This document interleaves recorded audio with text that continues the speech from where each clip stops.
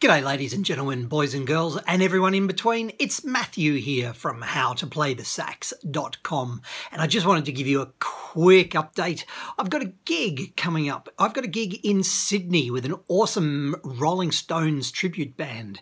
They're called Rolling Stoned, and I'm based in Melbourne. They're in Sydney. They um they contacted me a couple of weeks ago and said, "Hey, come on in. The water's fine." And so I'm going to do my best Bobby Keys impersonation with these guys in Sydney. If you're in Sydney at the Canterbury Leagues Club, July 13th, Saturday night, I'll be there with Rolling Stoned. I'm really looking forward to it. Thanks heaps, Stu and the guys from Rolling Stone for this opportunity. It's going to be great fun. Fantastic. So if you're in Sydney, Saturday, July the 13th, please come to the Canterbury Leagues Club to the Rolling Stoned tribute band. I'll see you there. Awesome. Thanks.